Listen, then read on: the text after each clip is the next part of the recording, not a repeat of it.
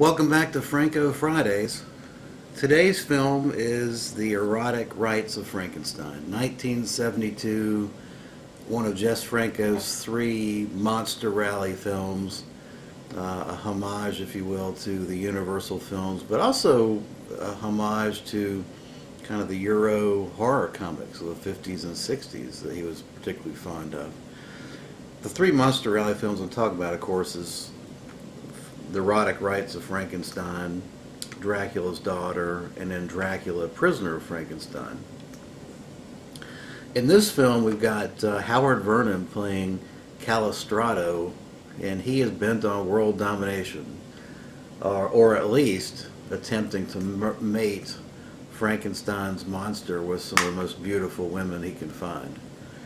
And that only just Franco could pull off a script storyline like that. And while the film is a homage to the Universal and horror comics, EC comics, it's really a kind of a tongue-in-cheek, surrealist fantasy. Uh, it, it turns a lot of the normal, conventional tropes of horror genre on its head. We all, uh, most people that have seen this film or know anything about Franco and his Frankenstein films is, are well familiar with the fact that we've got in this film a silver metallic Frankenstein and that, that's obviously going to be off-putting to purists and conventional horror fans. But again, this is coming at it from a different perspective, uh, almost tongue-in-cheek kind of look at horror, in only a way that Franco can do. So I, you got to kind of go with it and, and be a little bit flexible and forgiving as to as to what you expect from a conventional horror film versus a Franco film. Franco also goes about breaking down your normal conventional horror films by inserting, uh, in the midst of what I would call this monster rally universal type homage, you've got his typical brand of adult sex, nudity, both male and female, full frontal, uh, torture, and eroticism, in only a way that we know and love from Franco the centerpiece of the film is a, is a, a scene of kind of a hell with really some beautiful lighting, Bava-esque type lighting. But you've got this scene with Howard Vernon and his vulture bird woman friend. She's like a vampire with with like fuzzy green uh, claws on her hands. Crazy stuff. She's basically nude, other than this other than these furry claw hands that she's got on. Uh, they carry out a whipping torture scene with a male, fully nude male and female servant that have screwed things up and they've tied them up and then they've got Frankenstein's monster whipping these two while the onlookers are a bunch of skeletons and, and an elf with Spock ears. It's just crazy, batshit crazy stuff that uh, it's just it's it's great. I love it. Love it. Erotic Rites was one of nine Franco films produced and directed in 1972. And uh, of course, it stars Howard Vernon as the Cagliostro character. He's kind of a Mephistopheles. He's in, he's bent on world domination and mind control which is, and of course, mind control permeates all the Franco films practically. He was obsessed with mind control. I think it's more of a metaphor for uh, the Spanish Franco regime and how people were persecuted and uh, under the Franco regime, regime. So the mind control to me is kind of an extension of that that reality.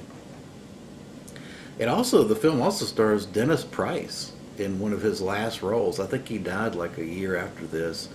Of course, he was in a lot of the Hammer films. He was in, had all kinds of cameos in uh, Horror of Frankenstein, for example. And uh, Britt Nichols, who plays Madame Orloff, she's in this as well. She's looking gorgeous. Um, Franco makes an early appearance as Morpho, kind of a almost kind of like a uh, Dwight Frye type servant for the Dr. Frankenstein, but he gets killed off like in the first five minutes. Uh, Franco, besides, of course, we've got Daniel White with his musical score. And this is kind of a very interesting jazz fusion, uh, tropical drums, heavy drum sound. Very, very interesting, interesting and unique fusion-esque type music.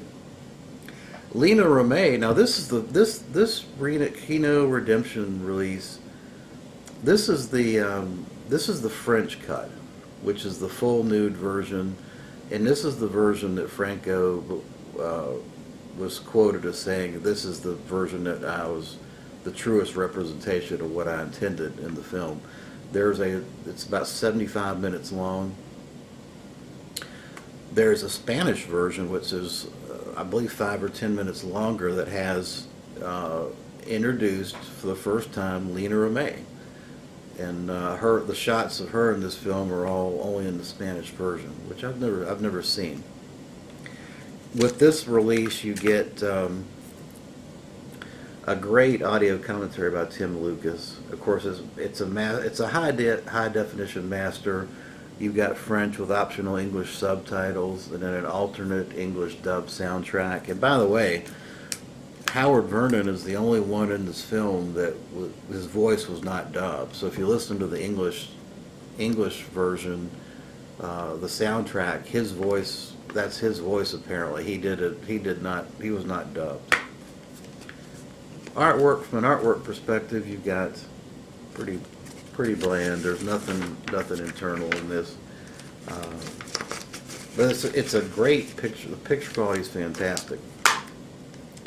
This film is so much fun. Let me run down. I went ahead and did a detail. I've watched this thing seven or eight times, but upon rewatching, I decided, you know what? This is this this film qualifies. This is so batshit crazy.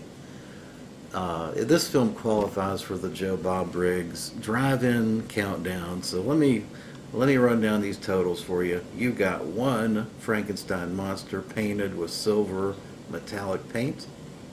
You got one vampire vulture bird woman. You've got one crypt with Frankenstein uh, misspelled.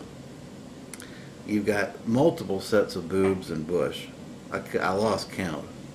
You've got one hellish elf with Spock ears.